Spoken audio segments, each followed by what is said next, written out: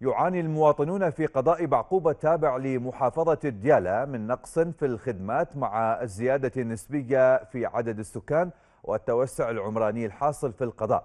يقول مسؤولون في البلدية إن بعقوبة تحتاج إلى ثلاثة آلاف عامل للخدمات بينما لا يوجد ضمن كوادرها أكثر من 250 عاملا. التفاصيل يوافينا بها مراسلنا من هناك.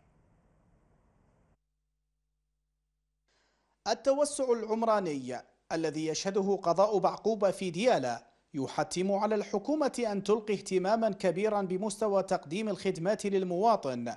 أكثر من 600 ألف نسمة في القضاء هي اليوم بحاجة إلى أكثر من ثلاثة آلاف عامل خدمة في بعقوبة في حين أن مجمل العاملين في بلدية بعقوبة لا يتجاوز ال 250 عاملا.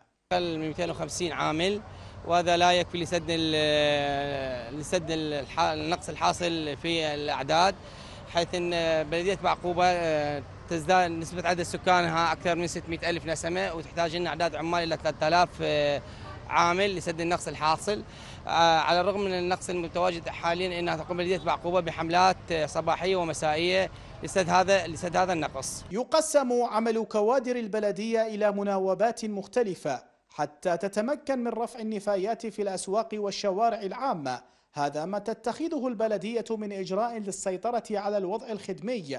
العاملون طالبوا بزيادة أعداد العاملين ورواتبهم أيضا. قسم بهم العمال خريجين.